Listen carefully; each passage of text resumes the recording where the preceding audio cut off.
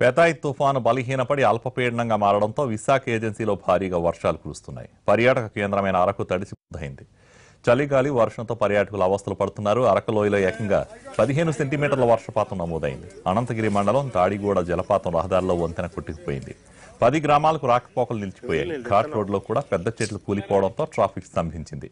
కిలోమీటర్ల మేర వాహనాలు నిలిచిపోవడంతో ప్రయాణికులు తీవ్ర ఇబ్బందులు పడుతున్నారు.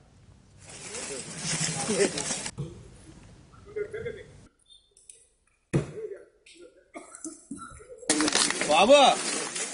బాబు చెప్పండి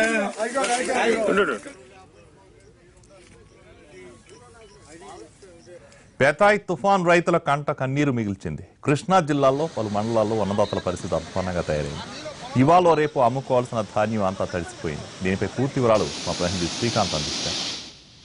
పెదాయి తుఫాన్ తాగిడికి రైతులు అందరూ కూడా విలవిల్లాడుతున్న పరిస్థితి అయితే కృష్ణా జిల్లాలో ఉంది. కృష్ణా జిల్లా అవినిగడ్డ గూడూరు గుడివాడ అదేవిధంగా మైలవరం మచిలీపట్నం ప్రాంతాల్లోని రైతులందరికీ కూడా కంట కన్నీరే పెదాయి తుఫాన్ అయితే మిగిలించిందనే చెప్పొచ్చు. ప్రస్తుతం మనం విజయవాడ రూరల్లోని పాతపాడి గ్రామంలో ఉన్నాం. చూడొచ్చు ఈ ఈ పొలంలో వరికి సంబంధించి కోతలు పూర్తయినా సరే ఈ దీన్ని వరి కుప్పని బయటికి తీసుకురాలేక వర్షం కారణంగా ఈ పెదాయి తుఫాన్ కారణంగా వరి కొంకల్ని మొత్తం కూడా ఇక్కడ పంట పొలాల్లోనే వదిలేసిన పరిస్థితి కూడా మనం స్పష్టంగా చూడొచ్చు. మొత్తం ఈ ఈ ఎకరం పొలం కూడా పూర్తి స్థాయిలో కోతల అనంతరం మొత్తం ఆ కుప్పలు ఓడ్చకుండా మొత్తం వాటిని కో- కోత కోసిన ఆ కుప్పలన్నింటినీ కూడా ఈ పొలంలోనే వదిలేసి వెళ్ళిపోయిన పరిస్థితి. ఎందుకంటే మూడు రోజుల పాటు కూడా పెతాయి తుఫాను కృష్ణా జిల్లా మీద ప్రభావం చూపించిందనే చెప్పొచ్చు. ఎందుకంటే ఆ తుఫాను సందర్భంగా తుఫాను కారణంగా భారీ వర్షాలు కురుస్తాయన్న నేపథ్యంలో రైతులందరూ కూడా ఆ పంట పొలాల్లోని పంటను వదిలేయాల్సిన దారుణ పరిస్థితి అయితే వచ్చింది.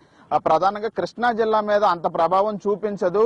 ఆ తీరం దాటే ప్రక్రియలో కృష్ణా జిల్లా మీదుగా కాకినాడ వెళ్ళిపోతుంది తుఫాన్ అని చెప్పినప్పటికీ ఆ నేపథ్యంలో కురిసిన వర్షాల కారణంగా అయితే మొత్తం వరి పంట అంతా నీట మునిగిందనే చెప్పొచ్చు. కొన్ని ఎకరాల్లో ఇరవై మూడు వేల హెక్టార్లలోని పంట నీట మునిగిందని ఇప్పటికే అధికారులు ప్రాథమికంగా నిర్ధారించారు. మరో ఇరవై మూడు వేల హెక్టార్లలోని పంట ఈదురు గాలులకి నేల కొరిగిందని కూడా ఇప్పటికే అధికారులు కూడా గుర్తించారు. మనం ప్రస్తుతం ఉన్న పంట పొలంలో మొత్తం ఒక ఒక విధంగా చెప్పాలంటే పంట మొత్తం కోసిన తర్వాత బయటికి కుప్పలు చొలిసిన సమయంలో మొత్తం పంట అంతా చేజారిపోయి నీటి పాలైందనే కన్నీరు మిన్నూరుగా రైతులందరూ కూడా విలపిస్తున్న పరిస్థితి కృష్ణా జిల్లా వ్యాప్తంగా కూడా ఉంది.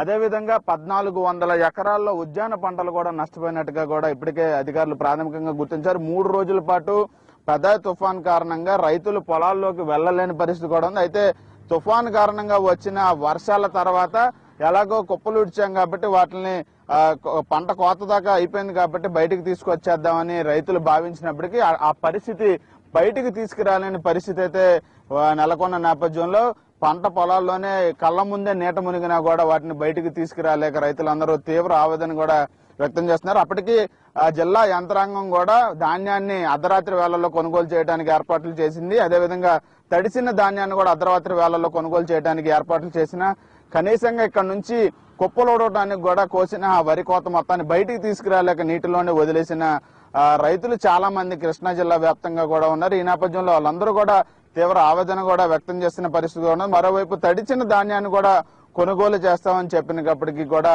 ఆ ధాన్యం కుప్పలు కూడా ఊడవడం ఊడ్చే పరిస్థితి కూడా లేకుండా పదా తుఫాను తమని నష్టాల పాలు చేసిందని తీవ్ర ఆవేదన కూడా జిల్లా వ్యాప్తంగా రైతులు చెప్తున్నారు. జిల్లాలో వరితో పాటుగా ఆ మినప రైతులు కూడా తీవ్రంగా ఈ పెదాయి తుఫాను వల్ల నష్టపోయిన పరిస్థితి కూడా ఉంది. ఈ నేపథ్యంలో ఆ రైతులందరూ కూడా తమకు ప్రభుత్వం నుంచి కొంత పరిహారం కానీ ప్రభుత్వం తమను ఆదుకోవాలని కూడా కోరుతున్న నేపథ్యంలో ఆ జిల్లా వ్యాప్తంగా కూడా ఇదే పరిస్థితి కూడా ఉంది. ప్రధానంగా అవినిగడ్డ మచిలీపట్నం గూడూరు మైలవరం ఈ ప్రాంతాల్లో అయితే పంట ఎక్కువగా నీట మునిగింది.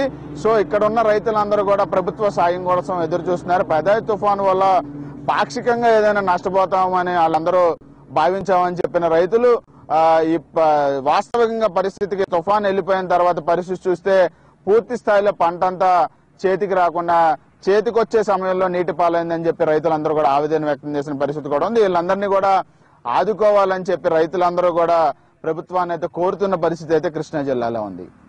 కెమెరా పర్సన్ లక్ష్మణ్తో శ్రీకాంత్ శ్రీకాంత్ ఎన్టీవీ కృష్ణా జిల్లా నుంచి. పెథాయ్ తుఫాన్ ప్రభావం వల్ల విజయనగరం జిల్లాలోనూ అపార పంట నష్టం జరిగింది. అక్కడి పరిస్థితిని మా ప్రతినిధి బాలకృష్ణ అందిస్తారు. పెతాయి తుఫాన్ బేభత్సం విజయనగరం వాసుల కళ్ళలో కన్నీళ్ళు మిగిల్చింది. ఇప్పటికే అటు తీర ప్రాంత ప్రజలు చాలా ఇబ్బందులు పడుతున్న పాటు ఇటు రైతులు కూడా చాలా ఇబ్బంది పడుతున్న పరిస్థితి. జిల్లాకు సంబంధించిన అనేక ప్రాంతాల్లో ఇప్పుడిప్పుడే కోతలు అయ్యాయి. ఈ సమయంలో చాలా వరకు పంటలు ఇక్కడే ఉన్నాయి. అంటే ఏదైతే పొలాల్లోనే ఉన్నాయి ఇలాంటి పరిస్థితుల్లో పొలాలకు సంబంధించిన పంటలు పూర్తిగా తడిసిపోయిన పరిస్థితి ఉంది. ప్రస్తుతం అంతా కొంతమంది రైతులు ఉన్నారు. బాబా ఎన్ని ఎకరాలు చేశారు? ఏంటి పరిస్థితి? ఎలా ఉంది పరిస్థితి? మాదైతే మూడు ఎకరాలు ఉంటుందండి. ఇలాగే ఉరిసిన కుప్పలెట్టాం ఇలాగే నా పంట ముంచి పోయింది వరద ముంచేసే. ఎంత ఎంత నష్టం ఉండొచ్చు? మీరు ఎంత పెట్టుబడి పెట్టుంటారు? ఎంత నష్టం ఉండొచ్చు? పెట్టుబడి ఒక ముప్పై నలభై వేలు పెట్టుబడి పెట్టాము.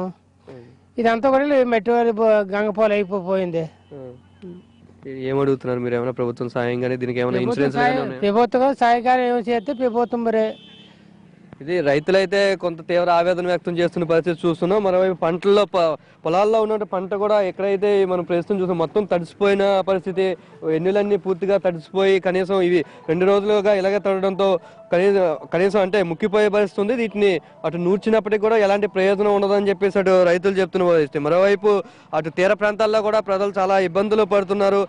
ముఖ్యంగా విజయనగరం సంబంధించినటువంటి పుష్పడ్రేగ భోగాపురం మండలానికి సంబంధించినటువంటి తీల ప్రాంతాల్లో ఇప్పటికే ఇరవై బోట్ల వరకు గల్లంతా అయిపోయిన పరిస్థితి. ఈ బోట్లు నిన్న భారీ ఈదురు గాలులు వేయడంతో సముద్రంలోనే బోట్లు వదిలేశారు. దీంతో ఆ బోట్లు అయితే ఇప్పటికే కనిపించని పరిస్థితి. సుమారు లక్షల్లో ఆస్తి నష్టం ఉంటుందని చెప్పేసి వాళ్ళు అంటున్నారు. మరోవైపు హార్టికల్చర్ తో పాటు అగ్రికల్చర్ సంబంధించిన అరటి తోటలు కూడా అరటి జామ తోటలు కూడా సుమారు రెండు నుంచి మూడు కోట్ల వరకు నష్టం ఉంటుందని చెప్పేసి అధికారులు అంచనా వేస్తున్న పరిస్థితి. మరోవైపు ఈ వ్యవసాయం ముఖ్యంగా వరికి సంబంధించినటువంటి ఇప్పటికే లెక్కలు తేలని పరిస్థితి ఉంది. చాలా వరకు భారీగా సుమారు జిల్లాకు సంబంధించినటువంటి పాచిపెంట ఏజెన్సీ ప్రాంతాల్లో ముఖ్యంగా పాచిపెంట మక్కువగా సుమారు నూట ఇరవై మిల్లీమీటర్ల వర్షం వరకు కురడంతో అటువైపు నుంచి కానీ ఇటు రూరల్ ప్రాంతాల్లో కూడా ఎక్కువ భారీగా నష్టం సరిచూసే ప్రాంతం ఉంది. ముఖ్యంగా వరి ఏదైతే ఉందో ఇది గత సుమారు అరవై వేల హెక్టార్ల వరి మనం చూస్తున్న విధంగా ఇలాగ పంట పంటల మధ్యలోనే ఉండిపోయింది. మరికొన్ని అయితే ఇంకా కట్ చేసి నేల మీద ఉన్న పరిస్థితి. ఇలాంటివన్నీ పూర్తిగా మునిగిపోయి ఉన్నాయి. దీంతో చాలా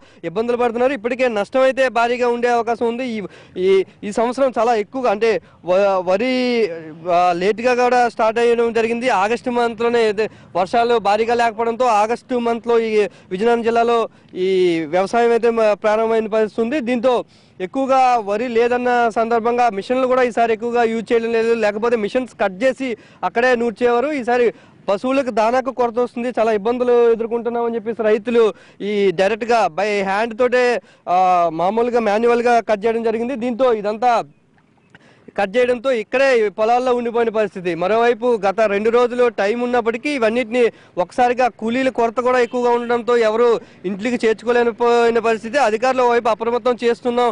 ఆ ఉన్న ధాన్యాన్ని సేకరిస్తున్నాం అని చెప్పేసి చెప్పారు. కానీ ఇక్కడ గ్రౌండ్ లెవెల్లో అయితే సుమారు ఇప్పటి వరకు అరవై వేల హెక్టార్ల వరకు ఇలా పంట పొలాల్లోనే ఉంది. మరో పదిహేను హెక్టార్లు అయితే పూర్తిగా నీటిలో మునిగిపోయిన పరిస్థితి. ఏదైతే కోసేసి కట్ చేసి నీటిలో ఉండిపోయిన పరిస్థితి.